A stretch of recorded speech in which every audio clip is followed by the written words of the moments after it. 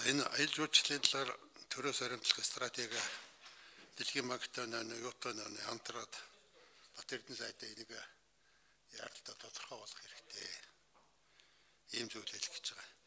Энэ зээлийн материал одоо 19 онд одоо байгуулагдсан юм байна л да энэ зээлийн гэрээ. 19 онд ковид гэж юм байсангүй ингофилитгийн хурцтмал байдал одоо байгаагүй дэлхийн ерөнхий нөхцөл байдал бол их сайн байсан. Эдийн засгийн өсөлт их сайн байлаа. Улс төрийн байдал гэсэн намжуун байдалтай байлаа. Тэгэд одоо бол байдал өөр болчихжээ. Тэгэхээр энийг энэ өнөөгийн нөхцөл байдалд уялдуулж энийг өөрчлөх юм шаардлагатай. Тэр отголох цэг, аялал жуулчлалын гудамж, үндэсний спорт, цогц спорт, нүүдэлчний гудамж, шоу ажиллах цэг гэдэг төр амрах, тасвар барах гэдэг энэ Зарим юмнууд энэ бол одоо орон нутгийн өмч өмчөөр одоо хийчих барьчих ийм юмнууд байгаа л юм л та. Гадаад зээлийг бол зөвхөн эдийн засгийн өсөлт бий болгодог салбартал одоо өсөлт бий болгодог ажил зарна гэсэн нэг ийм л бодлого баримтлаад байгаа юм л та. Тэгэд энэ манай гишүүдийн яриад байгаа энэ юм ба энэтэй холбоотой байх гэж ингэж бодож байна. Энэ сүүлийн үед Ганбаатар дараа хоёр асуудал байна. Сүүлийн үеийн засгийн газараас оруулж ирж байгаа ялангуяа зээлтэй холбоотой асуудал чанар муутай одоо энэ төсөл байна. Нөгөөх нь нөгөө нэг малаж хөө хөгжүүлэх нэг баахан малчтын хашаа хороог барьж өгнө гэдээ бас нэг буцаагцсан нэг юм байгаа шүү дээ. Ийм хоёр төсөл дээр одоо би жишээлж хэлж байгаа. Оруулж ирж байгаа юмны чанар муу байна. Яг гिचнээ урд нь хийгдсэн ч гэсэн энийг засах үүрэгтэй. Сая энэ Азийн хөгжлийн банкны энэ бүс нутгийг хариуцсан захирал нь ирж одоо хурлын даргатай уулзсан. За надтай уулзсан. За би энд бол юу гэхээр яг энэ байдлаар нь дэмжих боломжгүй юм аа яг энэ байдлаар дэмж болно.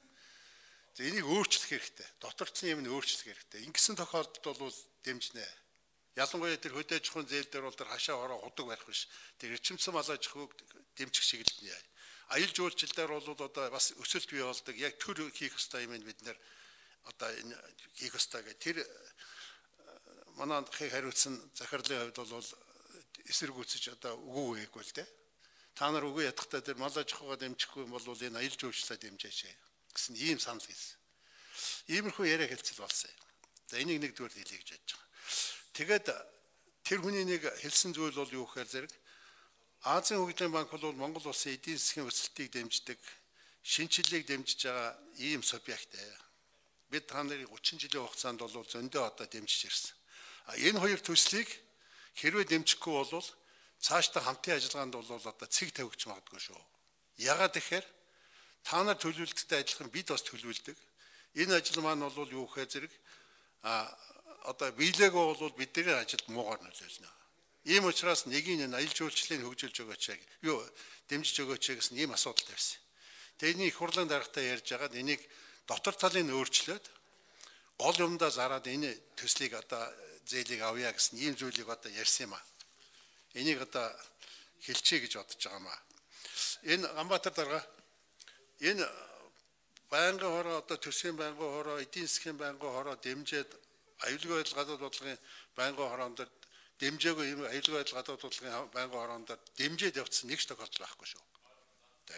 Энийг одоо би бас өндөр хэлчихье гэж бодож. Зөвхөн мэрэгжлийн одоо байнгын хороодынхаа саналыг хэлцээд тэгээ явж байгаа гэдгийг одоо хэлье. Тийм учраас бол энийг э, Батэрдэн сайд энэ яг энэ зөрүүлтээр нь авахгүй бол болохгүй гэдэг одоо дэмжихгүй байл тийм хүмүүс. Энийг өөрчлөх талд нь одоо